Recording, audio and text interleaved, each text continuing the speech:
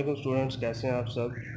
Inter सालाना इम्तहान Punjab committee के ताज़ा तरीन फैसले के मुताबिक फ़र्स्ट ईयर और सेकंड ईयर के हवाले से जो प्रमोशन लेटर जारी हुआ है, उसमें ये प्रमोशन के कुछ निकात हैं जिनको डिस्कस करना चाह रहा हूँ कि फ़र्स्ट ईयर के तमाम तलबा सेकंड ईयर में प्रमोट कर दिए गए हैं। तालब इलम जितने मार्क्स इंटर सालाना इम्तहान दो हज़ार इक्कीस पार्ट सेकंड में लेगा, वही मार्क्स पार्ट फ़र्स्ट ईयर के मार्क्स में भी दे दिए जाएँगे।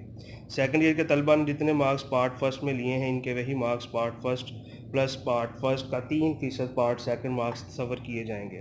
प्रैक्टिकल के नंबर पचास फ़ीसद तमाम स्टूडेंट्स को दिए जाएँगे, जबकि पचास फ़ीसद नंबर उनको, उनके थ्योरी मार्क्स के फ़ीसद के हिसाब से मिलेंगे।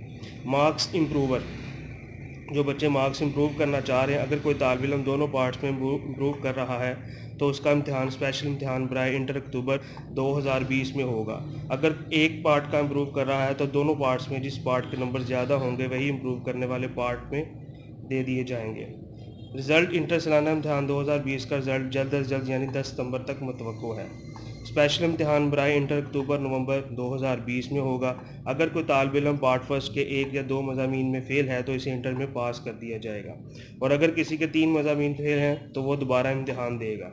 ऐसे तालब इलम जो गैर हाज़िर थे या जिन्होंने सबका साल अपना रिज़ल्ट कैंसिल करा दिया था, वो भी इम्तहान दोबारा देंगे। उन्हें प्रमोट नहीं किया जाएगा।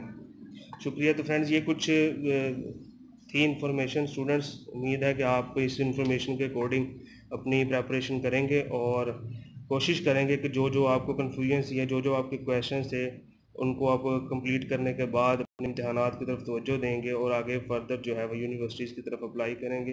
तो उसके पहले जो है मेरे चैनल को सब्सक्राइब कर दीजिएगा लाइक कर दीजिएगा शेयर कर दीजिएगा और कमेंट कर दीजिएगा। जजाकल्ला